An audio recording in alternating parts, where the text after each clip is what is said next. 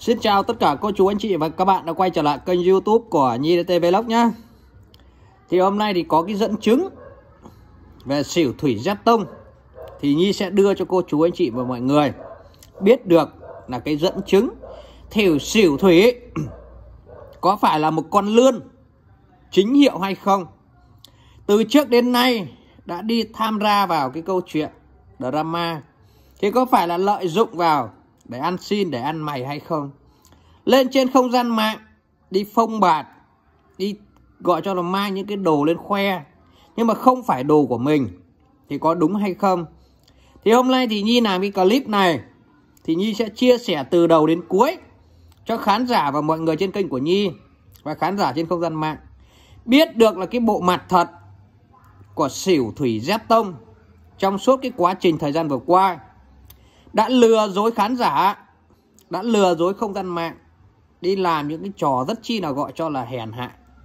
Còn một cái con người sống thì tiểu nhân, sống mang trong người một cái kiếp, cờ hó chui gầm trạng thì hôm nay thì Nhi sẽ vạch cho cô chú, anh chị mọi người cùng được biết được là cái bộ mặt thật, cái con người thật, của xỉu thủy giáp tông trên không gian mạng như thế nào. Thì cái thứ nhất, thì Nhi sẽ chia sẻ cho cô chú, anh chị mọi người như sau đầu tiên thì uh, Nhi xin uh, hỏi cô chú anh chị và khán giả cái kênh Tiệp Ca là ai? Và Tiệp Ca Nhi đã làm rất chi là nhiều những cái clip trước đây. Nhi đã lên Nhi phản biện lại những cái luận điệu xuyên tạc và bịa đặt và đi nói xấu về cô Nguyễn Phương Hằng. Và công ty Đại Lam như thế nào? Thì chắc chắn khán giả và mọi người cũng đã biết thì trước đây cái kênh Tiệp Ca này đã nói xấu rất chi là nhiều người trên không gian mạng và làm rất chi là nhiều những cái trò rẻ rách và hôi lách trên không gian mạng. Thì đặc biệt điển hình thì nếu như bạn Linda Đỗ là khán giả và cũng đang gọi cho theo dõi kênh của Nhi thì bạn cũng đã biết là trong suốt cái quá trình thời gian vừa qua Tiệp Ca đã nói, đã vu khống và đã đặt điều cho bạn à, Linda Đỗ như thế nào thì chắc chắn bạn Linda Đỗ sẽ là cái người biết đầu tiên. Cái thứ hai nữa thì trên không gian mạng khán giả và mọi người kênh của Nhi và kênh của Lão Đại và không gian mạng cũng đã biết được Tiệp ca này là ai. Có đúng không?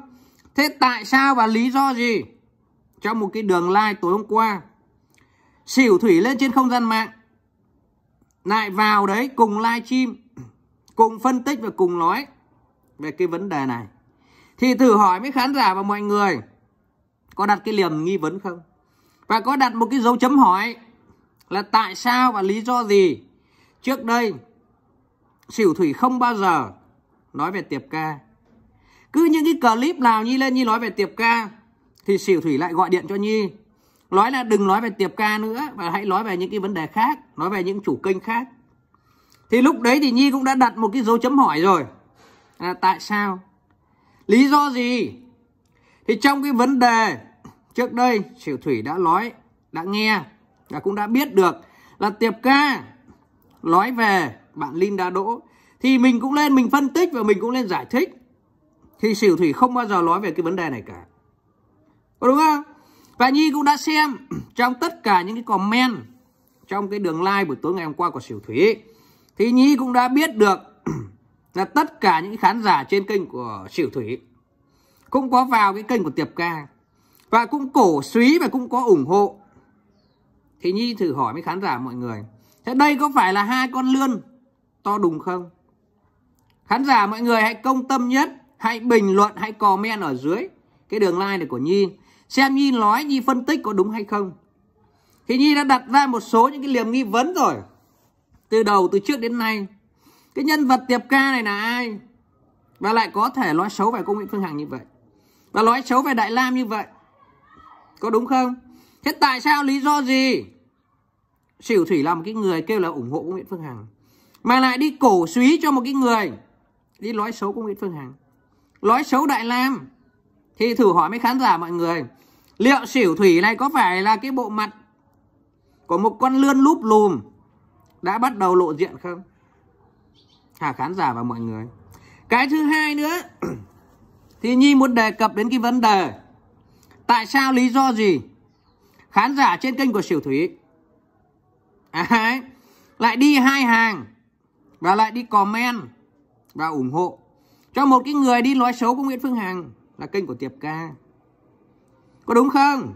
Thì khán giả mọi người xem có phải là khán giả và Xỉu Thủy là cùng một ruột đúng không? Có phải là trước đây Nhi đã lên, Nhi vạch cái bộ mặt thật của Xỉu Thủy ra cho khán giả, cho mọi người biết được. Thì khán giả trên kênh của Xỉu Thủy, khi Nhi đã không làm theo cái những cái lời của khán giả, nên là khán giả mới có những cái lòng gọi cho là câu kết không? Có đúng không hả mọi người? Thì Nhi cũng đã nói, thì khán giả cũng đã xem trong cái đường live của buổi tối ngày hôm qua. Thế khán giả mà mọi người cũng đã biết được là bộ mặt thật của hai con lươn này. Nó đã lúp lùm trong cái thời gian như nào. Mà cũng đã dần dần cũng đã lộ diện rồi. Có tốt hay không? Trả trách những cái vấn đề khóc ở sân bay, phải không? Và những cái câu chuyện đi kể lể để người khác người ta ghi âm đi ra, thì đấy cũng chính là có chủ đích đấy. Chứ không phải là không đâu.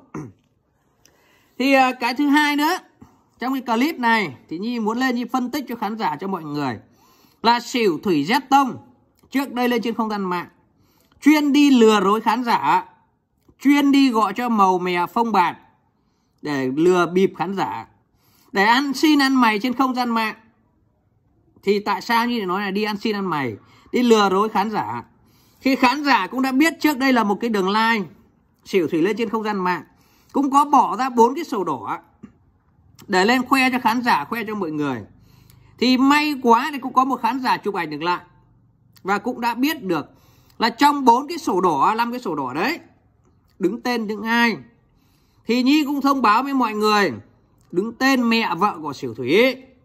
Và vợ của xỉu thủy chứ thủy không có một cái, cái sổ nào đứng tên của xỉu thủy cả. Còn thời đại 4.0 và thời đại bây giờ nếu như mà làm sổ đỏ thì phải có cả tên vợ, cả tên chồng. Trong cái sổ đỏ này đúng không hả mọi người? Thì tại sao và lý do gì? Trong bốn cái sổ đỏ đấy, không có một cái sổ đỏ nào đứng tên của thúy. Thì nhi thử hỏi với khán giả mà mọi người. Đây có phải là một cái con người đi ăn nhờ, đi ở động, kéo cả con đi chui gầm trạng mà còn không biết xấu hổ còn lên trên không gian mạng, đi khoe khoang ma mị? Có phải không? Phong bạt để lừa dối khán giả để ăn xin ăn mày không? Thì thử hỏi mấy khán giả mọi người. Nếu như nhi nói không có cái dẫn chứng ấy thì khán giả và mọi người này bảo là nhi nói điêu. Thì khán giả mọi người hãy bớt chút thời gian sang một cái kênh của doãn lợi, trên một cái tab cộng đồng ấy thì khán giả mọi người sẽ biết được là tên của bốn người trong cái sổ đỏ đấy. Có đúng là tên của xỉu thủy hay không? Hay là tên của mẹ vợ xỉu thủy ấy? Và vợ của xỉu thủy. Thế mà tại sao lý do gì? Xỉu thủy lên phong bạt, lên lừa dối khán giả. Thì khán giả thì đặt ra một cái liềm nghi vấn. Liệu xỉu thủy có thật thà không? Liệu xỉu thủy có có có ăn của để như xỉu thủy lên trên không gian mạng phong bạt không? Mà Nhi đây là cái người thực tế, Nhi lên tận lơi như xem, Nhi biết được là cái hoàn cảnh, cái gia đình của Sỉu Thủy như thế nào. Có tốt, có đẹp, có giàu, có như khán giả mọi người không? Mà khán giả mọi người không tin. Ngay như cái vấn đề xe pháo thôi. Thì Nhi đã đưa ra cái dẫn chứng nó cụ thể như vậy. Thì khán giả mọi người hãy cố gắng bớt chút thời gian. Trước khi xem một cái đường like của Sỉu Thủy, thì khán giả lên xem từ từ, không lên tua, thì sẽ xem được là những cái luận điệu của xỉu thủy. Trước đây thì cũng có nhổ ra. Và cuối cùng quay lại những cái clip này, lại quay lại cái lưỡi liếm nhưng không biết là mình đã nhổ ra xong mình lại vơ và mình liếm lại. Thì khán giả cũng đã biết. Là cái con người học thức không có, học vấn thì không. Lên ma mị khán giả, dẫn dắt khán giả, câu trước thì đá câu sau. Xem có đúng sự thật hay không. Khán giả mọi người, hãy nhìn nhận một cái cách công tâm và đàng hoàng nhất để xem được cái bộ mặt thật của xỉu thủy. Có phải là cái con người lươn lẹo, ăn xin ăn mày trên không gian mạng không? Có phải là lên trên không gian mạng bây giờ lại còn đưa ra cái văn bẩn nữa? Là khán giả, mọi người, ai nếu như mà đăng ký được 13.000 người thì cho cái bật lửa Zippo.